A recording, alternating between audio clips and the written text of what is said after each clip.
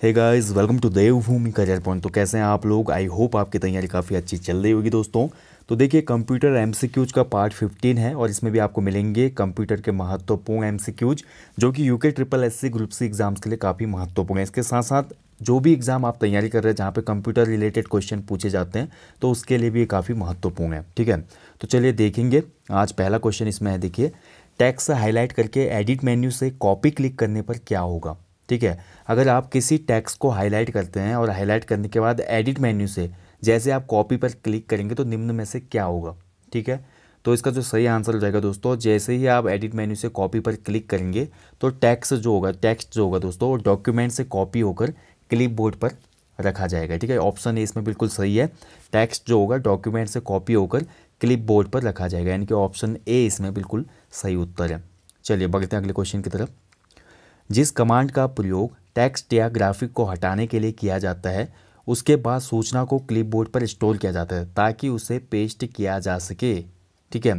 ताकि उसे पेस्ट किया जा सके। तो यहाँ पे क्वेश्चन को आप थोड़ा समझिए। क्वेश्चन की थोड़ा लैंग्वेज यहाँ पे डिफ़िकल्ट है दोस्तों। यहाँ पे क्वेश्चन में ये पूछा जा रहा है कि जिस कमांड का प्रयोग टैक्स या ग्राफिक को हटाने के लिए किया जाता है, एक ऐसी कमांड जिसको हम टैक्स या ग्राफिक्स को हटाने के लिए करते हैं कमांड को, ताकि उसके बाद सूचना को क्लिपबोर्ड पर स्टोर किया जाए। और उसे पेस्ट किया जा सके, या क्या करें? यहाँ पे ये पूछा जा रहा है क्वेश्चन में, ठीक है? तो अगर हम उसको डायरेक्टली क्लिपबोर्ड पर स्टोर करते हैं और पेस्ट करने के लिए सीधे हम क्या करते हैं? हटाने के लिए डायरेक्टली हटा के। या तो हम उसी की दोबारा प्रति बना रहे तो फिर वो कॉपी हो जाता है, ठीक है? यहाँ पे लेकिन कॉपी नहीं पूछा जा रहा है। यहाँ पे सिंपली ये पूछा जा रहा है कि सीधे सीधे ग्राफिक्स या टेक्स्ट को जब हम हटाते हैं और उसको किसी अन्य जगह पेस्ट करते हैं तो ऐसी को, ऐसे जो हमारा पूरा सिस्टमेटिक एक काम होता है, उसको क्या बोला जाता है? कट बोला जाता है, यानी कि ऑप्शन बी इसमें सही आंसर है। ठीक है, जब भी आप राइट क्लिक करते हैं सेलेक्ट करने के बाद, अगर किसी टेक्स्ट या ग्राफिक्स को आप कट करते हैं तो आप देखते होंगे कि सीधे हम उसको फिर स्टोर कर सकते हैं क्लिप बोर्ड पर और पेस्ट कर सकते हैं। ठीक है तो ये हो गया इसका आंसर ऑप्शन बी कट चलिए अगला क्वेश्चन देखते हैं। जो एकदम अभी काटा या कॉपी किया गया हो, उसे इंसर्शन पॉइंट पर क्लिपबोर्ड कंटेंट की कॉपी को इंसर्ट करने को डैश डैश कहा जाता है। देखिए, बहुत डिफ़िकल्ट क्वेश्चन भी आ रहे हैं। इसी तरह के क्वेश्चन आजकल पूछे भी जाते हैं ग्रुप सी एग्ज़ाम में, ठीक है? पहले बहुत इजी क्वेश्चन आते थे, पहले के पूर्व एग्जामों में हम देखें, लेकिन आजकल जो कंप्यूटर रिलेटेड क्वेश्चन बन रहे तो थोड़ा उनका लेवल ऊपर रख दिया गया ताकि जो हमारे कंप्यूटर की प्रोग्रामिंग है, क्योंकि आप एक कनिष्ठ सहायक बनेंगे या जो भी ऑफिशियल पोस्ट में जाएँगे ग्रुप सी के बाद, वहाँ पर आपको इन सभी चीज़ों का अनुभव होना चाहिए, ठीक है? तो इसीलिए ऐसे क्वेश्चन यहाँ पे आजकल डाले जा रहे हैं एग्ज़ाम में। तो यहाँ पे क्वेश्चन में क्या बोला जा रहा है? ध्यान से इसको समझिए। जो एकदम अभी काटा या कॉपी किया गया हो, यानी कि अभी एकदम कट किया गया हो या कॉपी किया गया हो, उसे इंसर्सन पॉइंट पर क्लिपबोर्ड कंटेंट की कॉपी को, जो हमारी इंसर्ट पॉइंट पर क्लिपबोर्ड कंटेंट होगा ना, उसी को हमने क्या करना है? कॉपी को इंसर्ट करने को डैश डैश कहा जाता है। तो ऐसे को बोला जाता है दोस्तों राइट आंसर हो जाएगा पेस्ट करना ठीक है? जैसा कि हमने ऊपर देखा अभी सेम वैसा ही है दोस्तों, इसको बोलते हैं। पेस्ट करना। वहाँ कट किया था, कट के बाद पेस्ट कर लेते अब हम तीसरे चरण में यहाँ पे पहुँच गए क्वेश्चनों के हिसाब से क्वेश्चन बने, ठीक है? क्वेश्चनों का जैसा आप देख रहे हैं ना, ऊपर से नीचे तक क्रम, उसी हिसाब से क्वेश्चन बने। तो इस घटना को बोलते हैं पेस्ट, ठीक है? ऑप्शन ही सही आंसर है। समझ में नहीं आ रहा तो कम से कम रट दीजिए इन क्वेश्चनों को, जहाँ पे समझ में नहीं आता है। अगला देखिए, यह ब्लिंकिंग इंडिकेटर होता है, जो वह बताता है कि आपका अगला एक्शन कहाँ पर होगा। तो ब्लिंकिंग इंडिकेटर कौन सा आता है, जो आपको बताता है कि अब अगला एक्शन जो आप करेंगे, वो कहाँ पर करेंगे? ठीक है? तो ये तो बहुत ईजी है दोस्तों। ये हमारा क्या होता है? कर्सर कर्सर देखते हैं ना आप, जो हमारी स्क्रीन होती है कंप्यूटर में कर्सर जो होते हैं, जहाँ जहाँ आप माउस ले जाते हैं वहीं वहीं घूमते रहता है वो कर्सर तो ब्लिंकिंग इंडिकेटर होता है कर्सर ठीक है? ऑप्शन बी इसमें सही आंसर है। चलिए, अगला क्वेश्चन है। कीबोर्ड पर पाए जाने वाला कोई अक्षर, संख्या या प्रतीक क्या कहलाता है, जिसे आप कंप्यूटर में टाइप कर सकते हैं? तो कीबोर्ड पर जो भी हमारे अक्षर होते हैं लेटर्स होते हैं, संख्या होते हैं, जो न्यूमेरिक होते हैं और प्रतीक होते हैं, जो सिंबल होते हैं तो इनको क्या कहा जाता है दोस्तों? ठीक है? तो इनको बोला जाता है राइट आंसर हो जाएगा ऑप्शन बी कैरेक्टर हुए करेक्टर ठीक है? अलग अलग करेक्टर हुए ना? या लेटर्स हो जाते हैं, उसके साथ साथ न्यूमेरिक क्योंकि कीबोर्ड में आप देखते हैं न्यूमेरिक कीज़ भी हैं अल्फ़ाबेटिक कीज़ भी हैं, उसके बाद सिम्बलिक कीज़ भी होती हैं उसमें, ठीक है? तो ये हो जाएगा हमारा करेक्टर ऑप्शन बी इसमें सही आंसर है करेक्टर चलिए अगले क्वेश्चन की तरफ़ बढ़ते हैं। उस डिवाइस को क्या कहते हैं जो डिस्क में रखी सूचना को पढ़ती है और कंप्यूटर की मेमोरी में ट्रांसफ़र करती है? अच्छा क्वेश्चन है। तो कौन सी डिवाइस दोस्तों डिस्क में रखी, जो भी इन्फॉर्मेशन होती है, उसको रीड करती है और उसके बाद कंप्यूटर की जो मेमोरी होती है, वहाँ पर ट्रांसफ़र कर देती है। तो ये डिवाइस कहलाती है राइट आंसर हो जाएगा ऑप्शन डी डिस्क ड्राइव ठीक है? ऑप्शन डी इसमें सही हो जाएगा।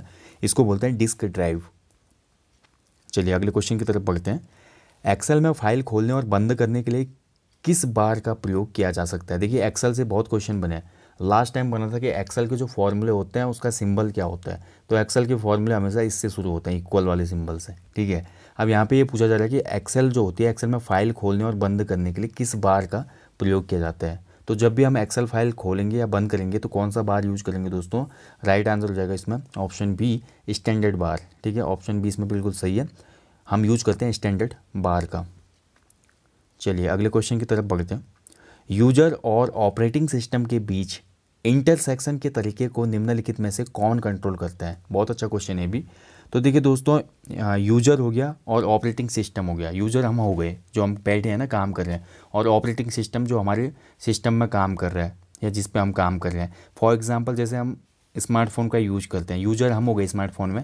ऑपरेटिंग सिस्टम हम देखिए, आप जाए तो अलग अलग होते हैं फ़ोन के हिसाब से। जैसे नॉर्मली फ़ोन में हम देखते हैं, आज जो ऑपरेटिंग सिस्टम होता है एंड्रॉयड होता है।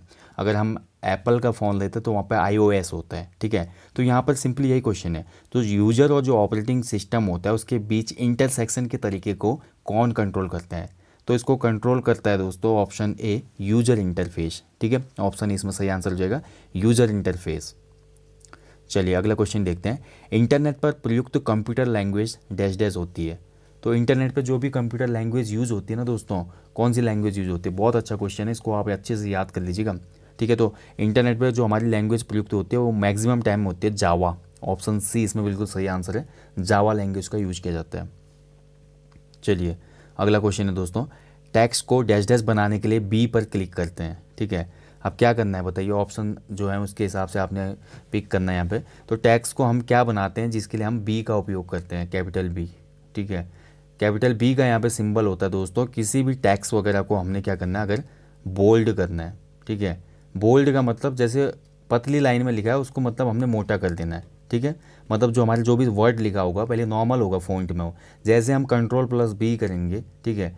तो कंट्रोल प्लस बी के साथ क्या होगा, जो हमारे सेलेक्टेड टैक्स होगा, वो दोस्तों क्या हो जाएगा, थोड़ा गाढ़ा हो जाएगा, ठीक है? यानी कि टैक्स की जो हम बोल सकते हैं टैक्स जो हमें बिल्कुल नॉर्मल दिख रहा था पहले, वो टैक्स अब हमें थोड़ा डार्क दिखने लगेगा। ठीक है तो ये बोल्ड होता है और इसका आंसर हो जाएगा ऑप्शन डी बोल्ड ठीक है? कंट्रोल प्लस बी होता है हमारा बोल्ड अगर यहीं पर हम दबाएँगे अगर कंट्रोल प्लस यू तो कंट्रोल प्लस यू अगर जैसे हम दबाएँगे तो टैक्स के नीचे क्या होगा? अंडरलाइन हो जाएगा दोस्तों। तो ये भी एक शॉर्टकट की है। अगर टैक्स को डैश डैश करने के लिए यहाँ पे हमारा यू पर कंट्रोल करते हैं या यू पे क्लिक करते हैं आता तो फिर आपका अंडरलाइन आंसर हो जाता है इसका, ठीक है? कंट्रोल प्लस यू बराबर अंडरलाइन कंट्रोल प्लस बी बराबर बोल्ड ठीक है?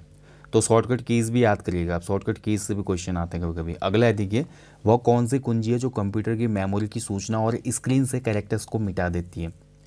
तो कौन सी कुंजी होती है जो कंप्यूटर की मेमोरी की सूचना, जो सूचना हमारी मेमोरी में होती है और उसके साथ साथ स्क्रीन से कैरेक्टर्स जितने भी होते हैं, वो उनको एकदम हटा देती है इरेज कर देती है। ठीक है? तो इसको बोलते हैं डिलीट की बहुत ही सिंपल है। डिलीट की अगर हम दबाएँगे तो डिलीट हो जाएगा जो भी हमने सेलेक्ट किया हुआ है, ठीक है?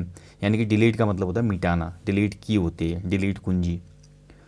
अगला देखिए, विनिर्माण के समय रिकॉर्ड किया गया डिस्क का कंटेंट जिसे यूज़र चेंज या इरेज नहीं कर सकता, ठीक है? यानी कि जब भी कंप्यूटर बनाया गया होगा या प्रोग्राम उसमें डाला गया होगा और प्रोग्राम डालने के समय जो डिस्क का कंटेंट है फिक्स कंटेंट है, जिसको हम लोग यूज़र चेंज या जो हम हम लोग जो यूज़ कर रहे हैं यूज़र उसको डिलीट नहीं कर सकते। यानी कि फिक्स है। आपने देखा होगा ना, कोई भी स्मार्टफ़ोन आप लेते हैं। फॉर एग्जांपल मैं आपको बहुत सरल भाषा में समझाता हूँ कोई भी चीज़।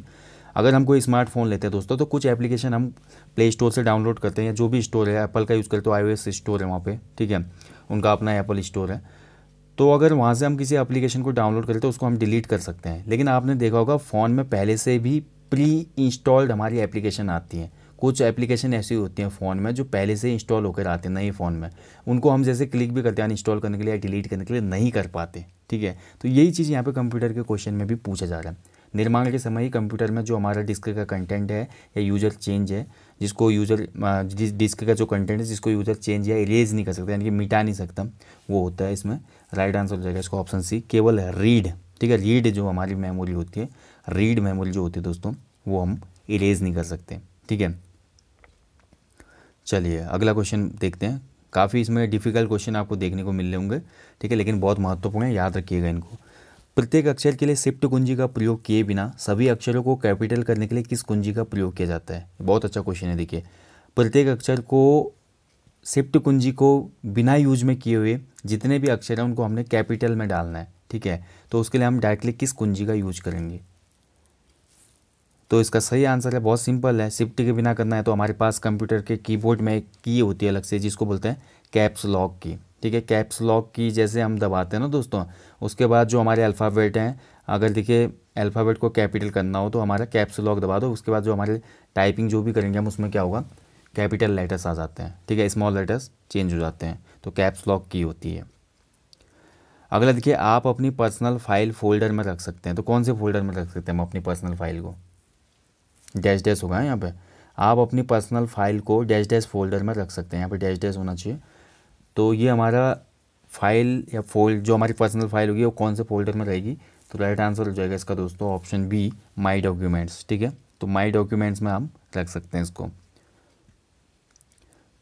अगला को है, देखिए, डैश डैश एक सेंट्रल कंप्यूटर है, जो बहुत से पीसीज वर्क स्टेशंस और अन्य कंप्यूटरों के लिए डाटा और प्रोग्रामों का कलेक्शन होल्ड करता है, ठीक है?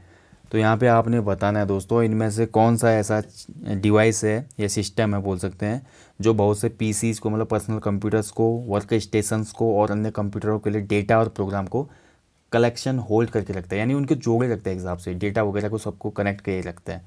तो इसको बोला जाता है दोस्तों राइट आंसर हो जाएगा इसमें सर्वर ठीक है? सर्वर एक ऐसा क्षेत्र हो सकता है, हम बोल सकते हैं ना जैसे कि हम बोल सकते हैं फ़िज़िकल आपका कोई बिज़नेस है दोस्तों, आपका फ़िज़िकल जो हमारा गोदाम होता है जिसको, जहाँ हम सामान वगैरह रखते हैं। मैं कोई बहुत बड़ा स्टार्टअप कर रहा हूँ बिज़नेस कर रहा हूँ फिजिकली तो मेरा एक गोदाम होगा। वैसे वर्चुअली यहाँ पे हम देखते हैं तो जहाँ पे बहुत से पीसी जुड़े हैं वर्क स्टेशन जुड़े हैं एक दूसरे से, जितना भी डेटा वगैरह है, ठीक है? कोई भी बैंक है या कोई भी कंपनी है तो उनका अपना एक सर्वर रूम होता है, जहाँ पे जहाँ आंकड़े वगैरह, जानकारियाँ वगैरह संग्रहित रहती हैं हमेशा, ठीक है? तो ये हो जाएगा हमारा, जहाँ पे डाटा और प्रोग्रामों का कलेक्शन रहता है। ये सर्वर या सर्वर रूम कहलाता है। ऑप्शन डी इसमें सही आंसर है। ठीक है? तो दोस्तों, ये थे आज कंप्यूटर के महत्वपूर्ण एम पार्ट फिफ्टीन। बहुत ही अच्छे क्वेश्चन है दोस्तों। अच्छे से इनको रट लीजिए। जो कंप्यूटर की सीरीज़ चल रही है, बहुत महत्वपूर्ण है आपके लिए। ना केवल ग्रुप सी एग्ज़ाम्स के लिए, वरन जितने भी अन्य एग्ज़ाम होते हैं, जहाँ पे कंप्यूटर रिलेटेड क्वेश्चन पूछे जाते हैं तो इसी तरह के क्वेश्चन आज की डेट में पूछे जाते हैं। अब ओल्ड क्वेश्चनों का टाइम चले गया अपडेटेड क्वेश्चन आ रहे हैं। इंटरनेट से संबंधित इसके साथ साथ कंप्यूटर के जो हमारी प्रोग्रामिंग है, उससे संबंधित क्वेश्चन बनते हैं एग्ज़ाम में। या हमारे जितने भी वर्किंग जो हमारे एक्सेस वाली सॉफ्टवेयर होते हैं लाइक एम एस वर्ड हो गया, इसके साथ साथ एम एस पावर पॉइंट हो गया एम एस एक्सल हो गया, यहाँ से क्वेश्चन बनते हैं, ठीक है? तो इन क्वेश्चनों को आपने अगर समझ में भी नहीं आता है दोस्तों तो आपने कम से कम इसके ऑप्शन रट लेने हैं कि एग्ज़ाम में कौन सा क्वेश्चन आ जाए, ठीक है? आपको याद होना चाहिए। एक दो बार देखेंगे तो याद हो जाएगा, ठीक है? चलिए मिलेंगे नेक्स्ट टॉपिक में। तब तक आप लोग अच्छे से अपनी स्टडी करें। Thank you for watching guys जय हिंद, जय उत्तराखंड।